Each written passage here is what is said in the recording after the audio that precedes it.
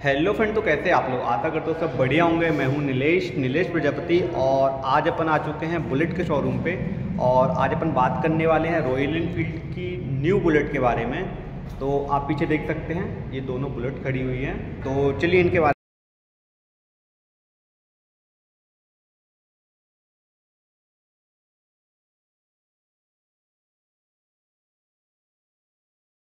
New bullet खड़ी हुई हैं। एक ये है और एक ये है। ये टॉप मॉडल है, वो है base model new bullet 2024 model है। तो आप देख सकते हैं, सबसे पहले मैं आपको टॉप मॉडल दिखाता हूँ। को हेलोजन हेडलाइट मिल जाता है निकल में आपको देखने को, और इसमें भी आपको शैम देखने को मिल जाता है। दोनों का हेडलाइट आपको सेम मिल जाता है, और फ्रंट मडगार्ड देख सकते हैं ब्लैक कलर में मिल जाता है टेलीस्कोपिक सस्पेंसर्स मिल जाते हैं रिफ्लेक्टर देख सकते हैं डिस्क देख सकते हैं। इसमें आपको फ्रंट डिस्क देखने को मिल जाता है, और सी के टायर देखने को मिल जाते हैं। और शैम आपको इसमें देखने को मिल जाता है। टेलीस्कोपिक के सस्पेंसन देखने को मिल जाते हैं रिफ्लेक्टर डिस्क ब्रेक देखने को मिल जाता है फ्रंट में, और सी के टायर देखने को मिल जाते हैं। और मडगार्ड देखने को मिल जाता है। इसके जो स्पोक व्हील हैं ब्लैक कलर में हैं, जैसे इलेक्ट्रा में आते थे, और बुल्ट में आपको निकल में देखने को मिल जाते हैं। जैसे कि आप देख पा रहे हैं, ये निकल में देखने को मिलते हैं, और इसमें आपको ब्लैक कलर में देखने को मिल जाते हैं। इंडिकेटर आपको दोनों के सेम देखने को मिल जाते हैं। ये देख सकते हैं टैंक देख सकते हैं। टैंक गोल्डन पट्टी के साथ में काफ़ी बढ़िया देखने को मिल जाता है, एकदम ब्लैक कलर में। आप देख सकते हैं, काफ़ी बढ़िया लुक दे रहा है। प्रीमियम था, जैसे पहले जो बुल्ट आती थी सेम आपको टैंक देखने को मिल जाता है। और इसके टैंक की बात करें, एकदम ग्लॉसी में ब्लैक कलर का टैंक देखने को मिल जाता है, जैसा इलेक्ट्रा मॉडल में था। सेम आपको इसमें देखने को मिल जाता है वाइट कलर का। थ्री लोगो देखने को मिल जाता है रॉयल इनफील्ड का वाइट कलर का देख सकते हैं। और इसमें आपको गोल्डन में रॉयल इनफील्ड का गोल्डन एंड रेड में आपको स्टिकर देखने को मिल जाता है लोगो देखने को मिल जाता है। इसमें आपको स्टिकर देखने को मिलेगा, थ्री स्टिकर और इसमें आपको लोगो देखने को मिल जाता है। इसके इंजन की बात करें तो इंजन आप देख सकते हैं सिल्वर एंड ग्रे में आपको इंजन देखने को मिल जाता है। आप देख सकते हैं, काफ़ी बढ़िया इंजन है। 350 सीसी का इंजन देखने को मिल जाता है। साइड पैनल देख सकते हैं। बुलेट थ्री आपको लोगो देखने को मिल जाता है। और ये पैनल देख सकते हैं, काफ़ी बढ़िया पैनल दिया हुआ है, ब्लैक कलर में। ये गैर लीवर देख सकते हैं, एक गैर आगे डलेगा, बाकी के चारों पीछे डलेंगे और साड़ी गार्ड देखने को मिल जाती है। और सीट देख सकते हैं, सीट काफ़ी बढ़िया मस्कुलर सीट है, काफ़ी सॉफ्ट सीट दी हुई है, सिंगल सीट है। आप देख सकते हैं, और सेम सीट आपको इसमें देखने को मिल जाती है, काफ़ी बढ़िया है। और सिंगल सीट देखने को मिल जाती है, काफ़ी बढ़िया, काफ़ी सॉफ्ट सीट है। दोनों में आपको सेम सीट देखने को मिल जाती है। आप देख सकते हैं। और इसमें भी आपको सेम इंजन देखने को मिल जाता है।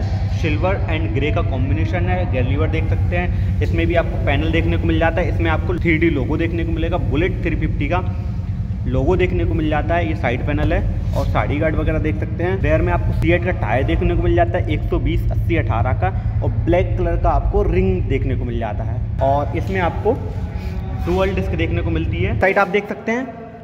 ये राइट हैंड साइड का पैनल है। बुलेट 350 का आपको लोगो देखने को मिल जाता है गोल्डन कलर की आपको पट्टी देखने को मिल जाती है।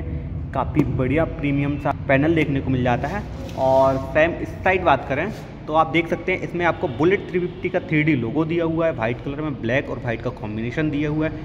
काफ़ी बढ़िया है, जो देखने में काफ़ी बढ़िया लग रहा है। निकल में आपको शालेंसर देखने को मिल जाता है। टैंक आप देख सकते हैं, तेरह लीटर का आपको फ्यूल टैंक देखने को मिल जाता है। दोनों में आपको तेरह लीटर का फ्यूल टैंक देखने को मिल जाता है। और दोनों को बैक साइड की बात करें तो तो बैक साइड आप देख सकते हैं रॉयल इनफील्ड का आपका स्टिकर देखने को मिल जाता है और टेल लाइट देखने को मिल जाता है। इंडिकेटर देखने को मिल जाता है निकल में आपको इंडिकेटर देखने को मिल जाता है। नंबर प्लेट के लिए दिया हुआ है, ये नंबर प्लेट सपोर्ट के लिए दी हुई है रबड़ और शैम आपको इसमें देखने को मिल जाता है। Sticker and indicator tail light और number plate frame dual disc dual channel ABS में देखने को मिल जाती है टॉप मॉडल बेस मॉडल आपको सिंगल डिस्क में देखने को मिल जाता है, पीछे आपको डिस्क देखने को नहीं मिलेगा। ड्रम ब्रेक देखने को मिलेगा सीएट का टायर मिल जाता है ब्लैक कलर का आपको रिम देखने को मिल जाता है निकल में आपको रिम देखने को मिल जाता है और double disc double channel ABS में मिलती है। मीटर आप देख सकते हैं एनीलॉग स्पीड मीटर साइड में डिजिटल मीटर देखने को मिल जाता है, इसमें आपको फ्यूल इंडिकेटर टाइम और ट्रिप मीटर सब कुछ देखने को मिल जाता है इग्निशन लॉक सिस्टम मिल जाता है हैंडल लॉक आपका।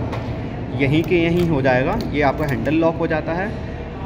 और यहाँ पे आप जीपीएस डलवा सकते हैं। या आप कस्टमाइज़ करवा सकते हैं। और यहाँ पे आपको ये पास लाइट देखने को मिल जाती है इंडिकेटर स्विच देखने को मिल जाती है, और यहाँ पे हॉर्न बटन देखने को मिल जाती है। यहाँ पे आई बटन देखने को मिल जाती है, जो आई बटन आपकी मीटर को कंट्रोल करती है। जैसे कि आप देख पा रहे हैं, किलोमीटर पे दिख रहा है। और ये आ गया time odo trip one trip two trip three trip F और इस साइड आपको मिल जाती है सेल्फ स्विच देखने को और ये हज़ार बटन देखने को मिल जाती है जैसे चारों इंडिकेटर चालू हो जाते हैं ये भी आप देख पा रहे हैं। ब्रेक लीवर और यहाँ पे गेयर लीवर और ब्लैक कलर में आपको मिल जाते हैं ग्लास देखने को मिल जाते हैं। इसके स्पीडोमीटर की बात करें तो सेम स्पीडोमीटर इसमें मिल जाता है डिजिटल मीटर के साथ में एनालॉग स्पीडोमीटर, हैंडल लॉक आपको यहीं पे मिल जाता है, इग्निशन लॉक सिस्टम, जीपीएस आप कस्टमाइज करा सकते हैं, और हैंडल बार आपको फ़ैन देखने को मिल जाता है। और ये बेस मॉडल में आपको जो ब्रेक लीवर दिया हुआ है, जो आपको पुराने टाइप से मिलेगा, जो पुरानी बुलेट में आता था वही आपको ब्रेक लीवर देखने को मिलेगा। इस टाइप का ब्रेक लीवर देखने को मिलेगा, जो काफ़ी बढ़िया दिया हुआ है। बाकी आप देख सकते हैं, दोनों गाड़ी काफ़ी बढ़िया देखने में लग रही हैं। काफ़ी ज़्यादा डिफरेंस नहीं है, सिर्फ़ ब्लैक एंड निकल का कॉम्बिनेशन है। इसमें निकल का कॉम्बिनेशन दिया हुआ है, इसमें आपको ब्लैक का कॉम्बिनेशन देखने को मिल जाता है। बाकी दोनों गाड़ी काफ़ी बढ़िया हैं, काफ़ी प्रीमियम सी लग रही हैं। उसके बाद में दोनों गाड़ियों में कोई ज़्यादा चेंजेस नहीं है, जो क्लासिक 350 थी सेम आपको ये देखने को मिल जाती है। लुक वाइज थोड़ा चेंज कर दिया, जैसे सीट चेंज कर दी है, आपको टंकी चेंज कर दी है। बाकी तो क्लासिक 350 ही जैसी है, जो न्यू जनरेशन जो रिवोन क्लासिक है सेम आपको देखने को मिल जाती है। क्लासिक फिफ्टी और इनमें ज़्यादा डिफरेंस नहीं है। सिर्फ़ सीट और टैंक का डिफरेंस है, बाकी कोई डिफरेंस नहीं है और कलर कॉम्बिनेशन का डिफरेंस है। तो चलिए वीडियो पसंद आए तो वीडियो को लाइक करें कमेंट करें शेयर करें। और बहुत जल्द आपको चैनल पर वीडियो मिलती रहेंगी।